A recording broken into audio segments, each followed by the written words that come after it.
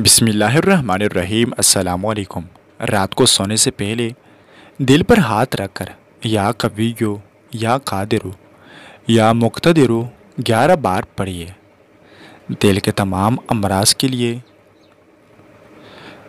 दिल को कवी करने और दिल को सुकून देने के लिए भी ये दुआ और ये वजीफ़ा बहुत ही लाजवाब है।